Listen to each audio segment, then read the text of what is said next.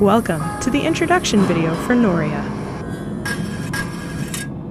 A new era is looming on the horizon. The future of Noria is right in front of you. Guide your flourishing trade empire into prosperity. Discover flying islands, buy ships, and build factories. Invest in prestigious projects and secure their success by passing on secret knowledge to the politicians.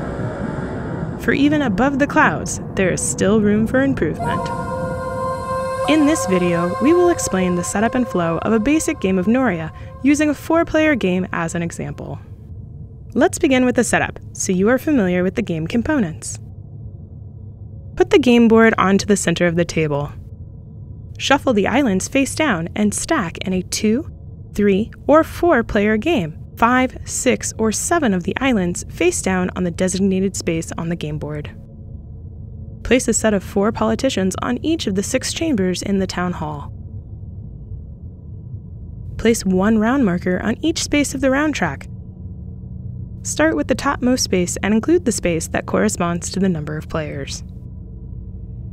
Place in a 2, 3, or 4 player game 4, five, or six discs of each of the seven types on the market.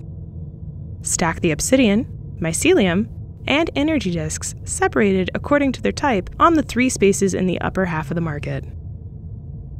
Stack the city, journey, tool, and bonus discs in that order on the first, second, third, and fourth space in the lower half of the market. From the remaining discs, every player takes one obsidian, mycelium, energy, city, journey, and tool disc. There are three types of resources obsidian, mycelium, and energy. Each of these resources matches one ship class for their transport. There are three warehouses for the three simple goods propeller, sail, and compass, and two for the complex goods lamp, and piston. Sort these and the knowledge tokens next to the game board to form the common supply. Each player takes the five representatives and their color and places four of them into the cave. Place one of your four representatives on level one of a path of your choice. We will explain the four paths in a minute. The fifth representative is your ambassador. Place it on the small island. Each player takes one tableau and places the seven factories of their color on it. On one side of the tableau, you place one obsidian, mycelium, and energy ship. Each player takes one plastic base, one player aid, and a set of one large, one medium, and one small ring to build the action wheel. Take your six discs and place the city, journey, and tool disc in the highlighted spaces of your wheel. The remaining three discs are placed randomly on these three spaces. Make sure that the order of the obsidian, mycelium, and energy discs in these three spaces is different for every player. Place the discs always with their normal single-colored side face up into your action wheel. Each player takes one knowledge and one resource of their choice. Randomly determine the start player and give them the smokestack. The starting player will not change during the game. Now, after completely setting up the game, one question remains How do you win the game?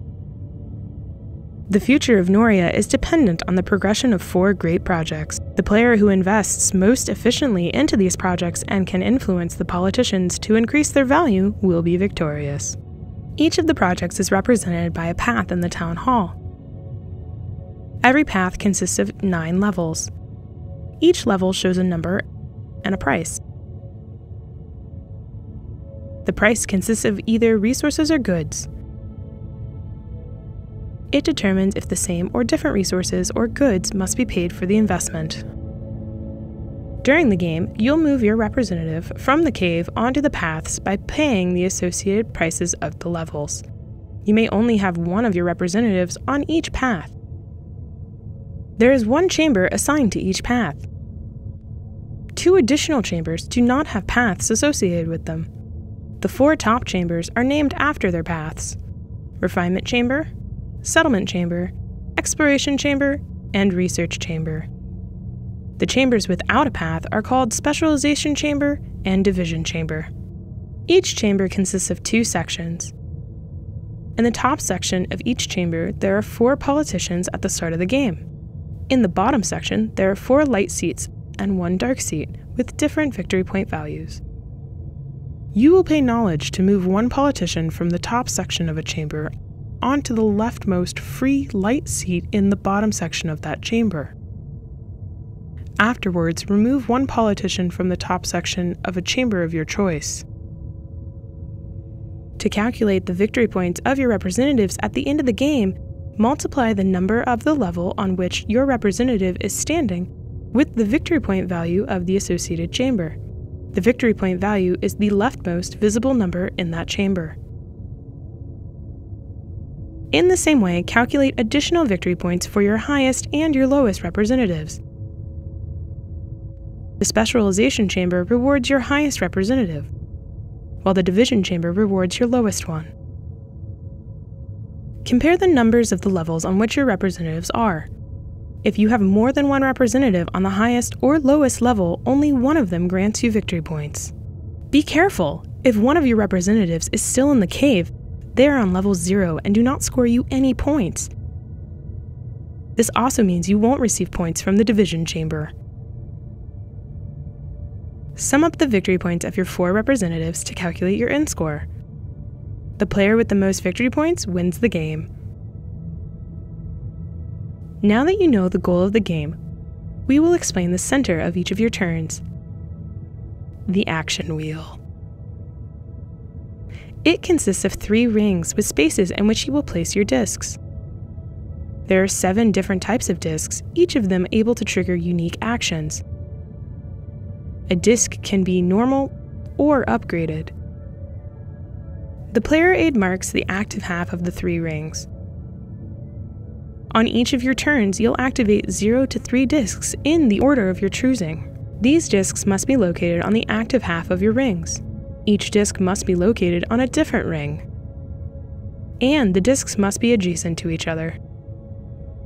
Use one action per activated disc.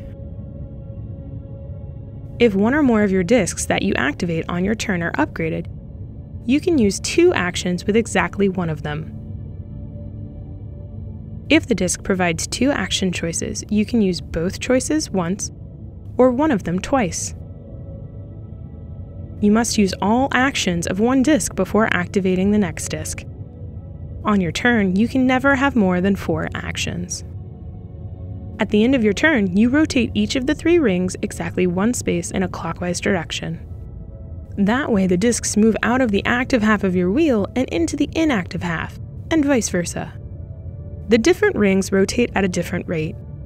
The small ring rotates 180 degrees, the medium ring rotates 90 degrees, and the large ring rotates 60 degrees.